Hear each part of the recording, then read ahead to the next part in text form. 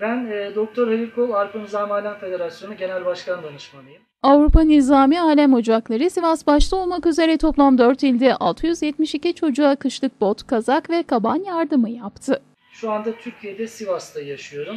İbrahim Yıldız abimle beraber e, bu organizasyonu gerçekleştirdik.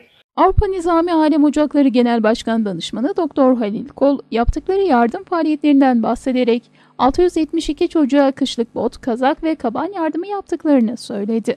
Toplam 4 ilde Sivas, Kahramanmaraş, Göksun, Elazığ ve Tokat'ta toplam 672 çocuğumuza bot, kazak, kaban almak istedik. Allah da nasip etti. Sizlerin de yardımlarıyla beraber bu organizasyonu gerçekleştireceğiz inşallah. Kol bu organizasyonu yaparken kendi çocuğumuza ne giydireceksek aynısını buradaki yetim çocuklarımıza da giydirmek istedik dedi.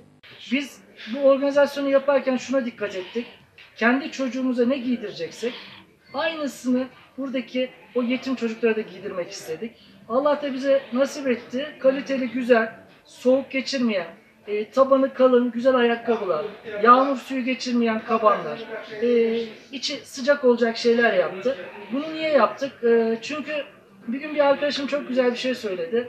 Dedi ki biz Avrupa'daki Nizami Alem Federasyonu'ndaki alperenler burada evet kaloriferli güzel yerlerde yaşıyoruz. İmkanımız da güzel ama dedi. Biz Anadolu'dan geldik.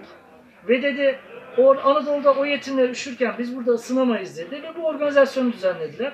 Biz de burada aracılık ettik. Allah tüm bu organizasyonu yapanlardan razı olsun. Şimdi neler yaptık bir bakalım. Ayakkabıları çekelim arkadaşlar. Neler çekmişiz, neler yapmışız. Baştan sona gidelim.